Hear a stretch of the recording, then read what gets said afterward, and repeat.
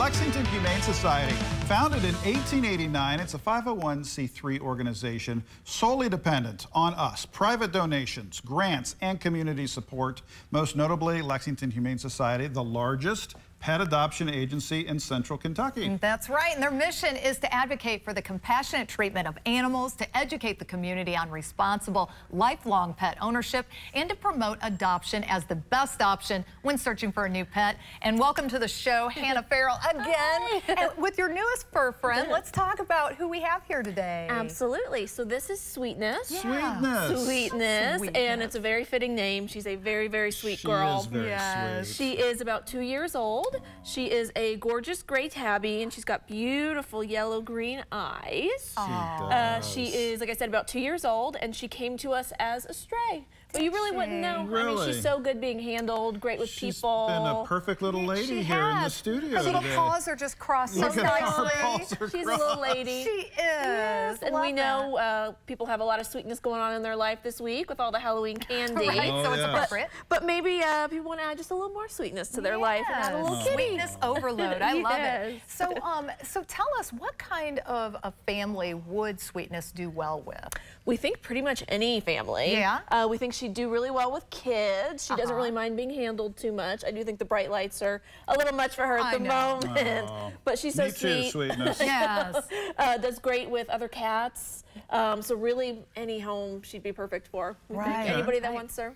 And I, I love how you all have um, opportunities for people to get to know Mm-hmm. Sweetness, uh, even other uh, family members Mm-hmm. and uh, furry family members. You want to make sure that that love connection is going to work. For sure, we're a big proponent of meet and greets. Yeah. Um, so coming in, actually spending time with the animal, Mm-hmm. bring your kids with you. Um, when someone's interested in adopting a dog, Mm-hmm. we often recommend if they already have other dogs in their home, Mm-hmm. bring them along. We'll arrange for them to um, meet and greet each other in Right. a you know safe, contained space. Yes. See if they're a good match. Because the thing is, if they're not a good match, you know, we don't want to be sending an animal into That's a home right. that's, That's right. not going to be a good fit for them, and maybe the animal's going to end up right back with us. Yeah. Because And this then needs to be a forever home. Yes, they do. exactly. Yeah. And that's what we want. And we'd rather know that up front. Yeah. Have that meet and greet, see if it's the perfect match. And if it is, amazing. If it's not, maybe we have another animal that is a better fit. Mm-hmm. And we'll just keep working to find that particular animal um, a home that is a good fit for them. That's right. Yeah. And you also have a lot of volunteers. It takes a small army to run what you guys are doing. It truly does. Let's talk about that. Are you looking Yes. for new volunteers right now? Always. We're Yeah. always accepting new volunteers. It's a very easy process. We have the volunteer questionnaire application on our website Mm-hmm. that people can fill out.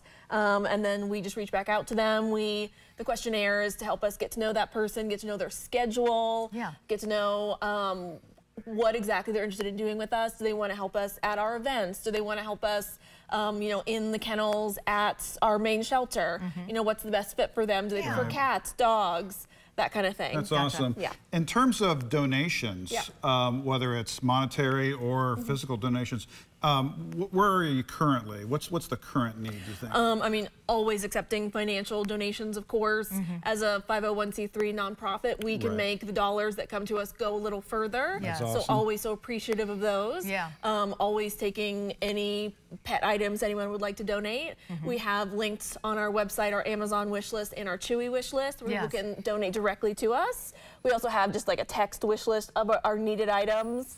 And we're also always taking um, anything used towels, sheets, um, people that are kind of, you know, cleaning out and wanting to get rid of some, you know, used pet items. They can bring those to us as well. Awesome. Sweetness is on the move. She is. Well, Hannah, thank you so much for coming in today. We appreciate it. Thanks.